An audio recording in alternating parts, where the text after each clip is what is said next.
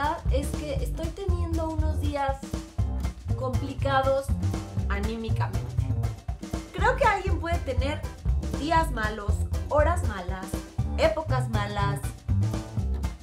Y normalmente yo soy de las que lo duermo y lo paso y se acabó. No me gusta instalarme en el drama.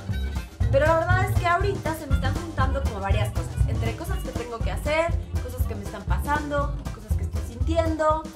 En fin, no les voy a hacer el cuento muy largo, pero sí quería platicarles que no la estoy pasando bien. Así es que esta semana va a estar un poquito complicado que grabe videos nuevos, pero eso no significa que no hay videos. Hace un año grabé un video justo para esta época que volví a ver y mi sentir es exactamente el mismo. Y por eso, si les interesa saber qué pienso de la infertilidad en la época navideña, sigan viendo este video.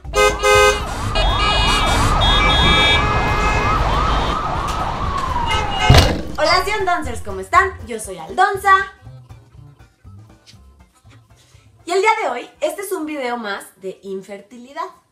Pero no es nada más uno más de infertilidad. O sea, viene mucho al caso porque este video es de infertilidad en Navidad. La verdad es que yo creo que en esta época, como que toda la gente en general, todos, hombres, mujeres, madres, padres, abuelos, todos nos ponemos como un poquito más nostálgicos, melancólicos, como que todo nos llega más, todos como que nos queremos más, no sé, hay un algo así en el ambiente que irradia sensibilidad, pues, ¿no? Y creo que las que vivimos el proceso de infertilidad en nuestras vidas, pues la época sí nos afecta de una manera muy particular. Creo que se vuelve una época bastante difícil, por decirlo de alguna manera, o complicado. No sé ustedes, pero a mí me pasan varias cosas. Una de ellas es en este mood sensible que empiezas como a reflexionar de todo lo que has hecho en el año y empiezas un poco pues ya a pensar en los propósitos que te vas a poner para el año siguiente y tal. A mí me pasa que me provoca tristeza pensar que es un año más que ya terminó y yo sigo sin lograrlo. Es un poco como una combinación de tristeza, frustración, de recordar que la Navidad pasada también pensaste, probablemente la siguiente Navidad yo esté embarazada. Y ya es Navidad. Y no estoy embarazada. Yo sé que en muchos videos de infertilidad se los aclaro, pero prefiero hacerlo porque lo último que quiero que piensen es, ay, pobrecita Aldonza, cómo sufre, está deprimida, se va a suicidar. No. Digo todas estas cosas porque creo que hay mucha gente sintiendo lo mismo que no sabe cómo sacarlo. Así es que por eso, mm, una vez aclarado esto, lo siguiente que voy a decir puede sonar medio dramático. Pero en esta época, la verdad es que a muchas de nosotras lo que nos sucede es cada vez que nos preguntan qué queremos de regalo o qué le vamos a pedir a Santa Claus, pues sí, tristemente lo primero que pensamos es en un bebé.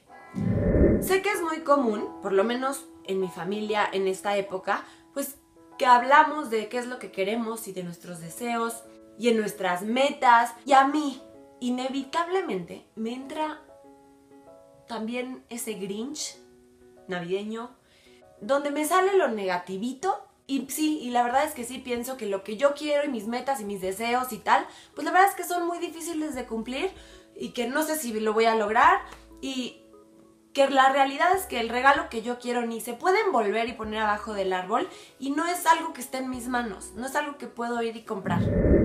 Probablemente para ti que estás viendo este video es la primera Navidad que pasas con el diagnóstico de infertilidad. Y si es así, pues todos estos sentimientos son nuevos para ti. Pero quiero que sepas que no estás loca, que no eres la única, que así habemos muchas.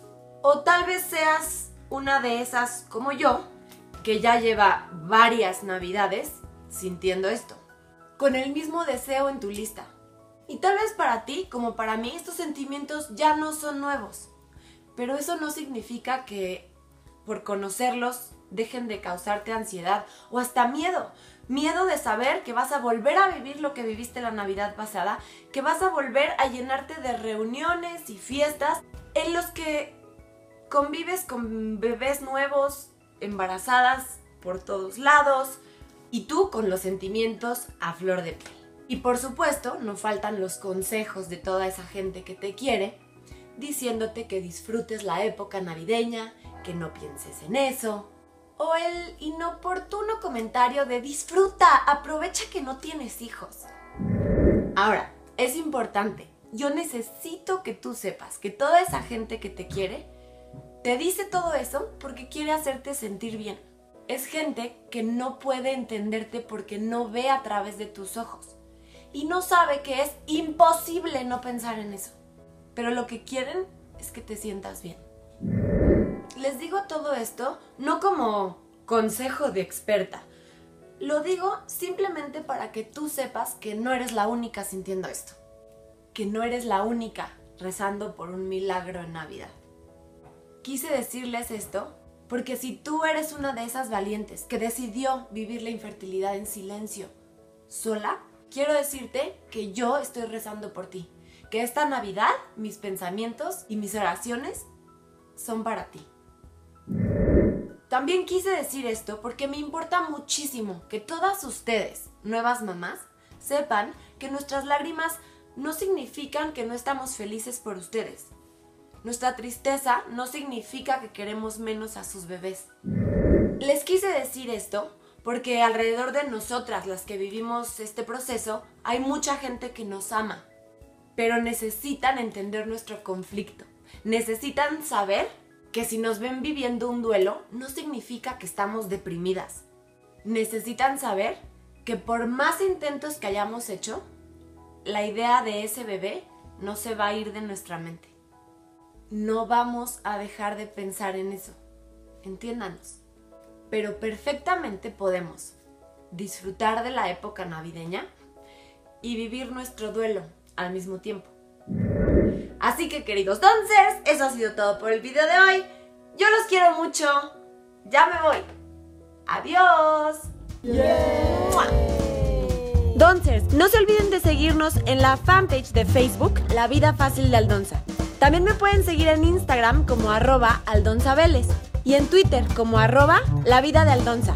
Los espero. Besos.